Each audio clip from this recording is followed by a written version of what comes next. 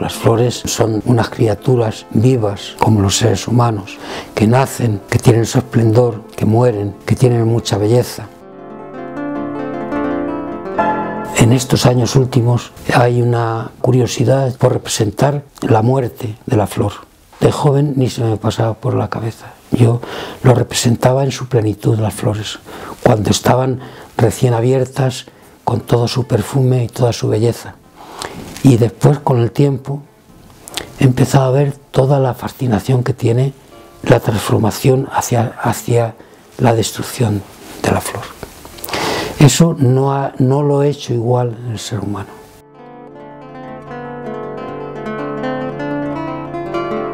El realismo, corriente denostada por las élites artísticas, es el camino elegido por Antonio López. Cuerpos y Flores es su primer libro de artista, en el que se recogen desde sus primeros trabajos de juventud hasta sus obras más actuales.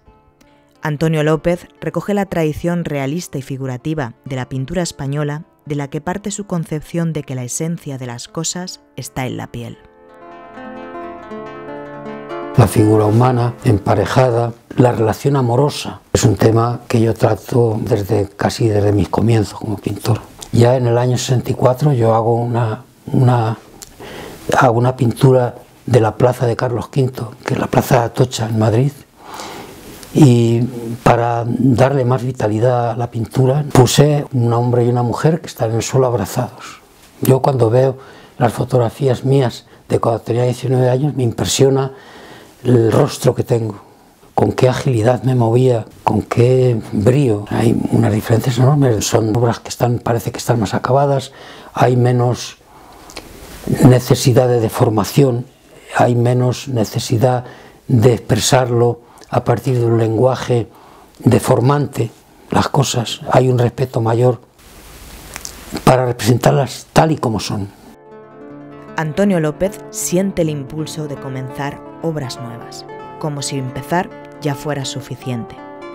Yo voy trabajando como trabajaría Cézanne, pues en los temas que me llaman la atención, cuando me canso lo dejo, cuando tengo deseo de reanudarlo, lo reanudo y voy trabajando hasta que ya, digamos, el tema deja de interesarte y ya, bueno, pues digamos que lo entregas a la galería o al, comprador, o a, en fin, lo, das por, lo das por acabado, pero no es que esté acabado, como podía estar acabado el, una obra antigua.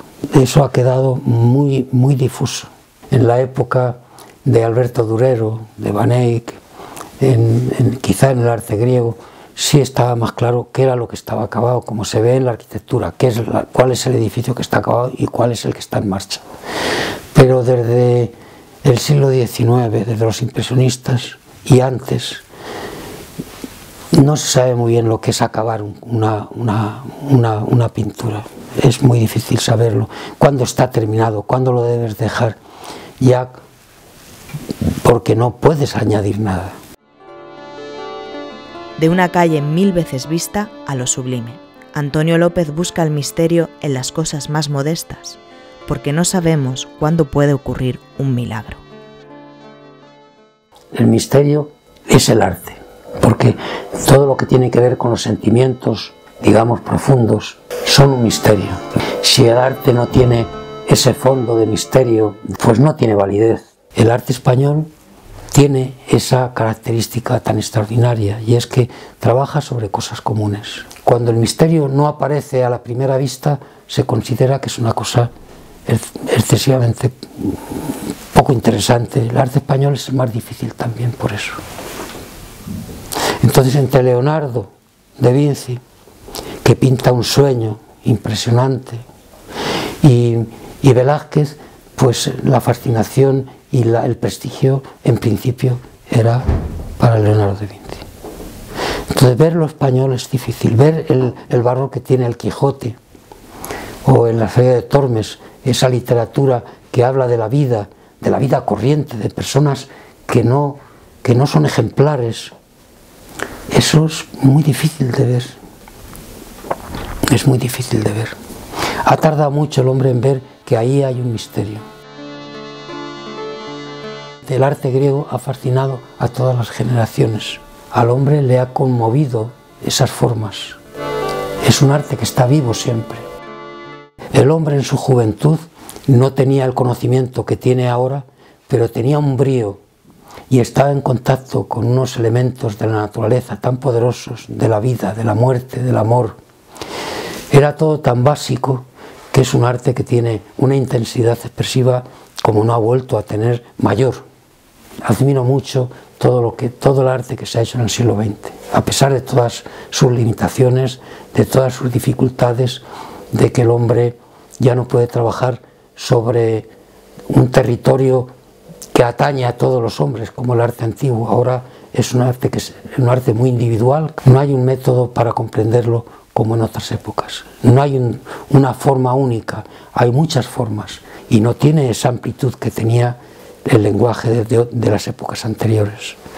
Pero también en esa búsqueda de, de, lo interior más profundo de cada uno, se han llegado a contar cosas que estaban, que no se habían contado nunca. A ver qué piensa el hombre cuando se queda en soledad, qué siente de verdad. El mundo de la pintura es tan complicado como el mundo del hombre. Eh, es como una especie de síntesis del mundo del hombre. El arte en general del siglo XX es la expresión de, cómo vive el hombre en una situación de, amenaza. Eh, los dioses se le han alejado, prácticamente ya casi han desaparecido de la vista. Los credos políticos pues también se han venido abajo prácticamente. Entonces el hombre vive una situación de orfandad, y el arte tiene que reflejarlo. El arte no da ninguna solución, como la ciencia. La, ciencia da soluciones.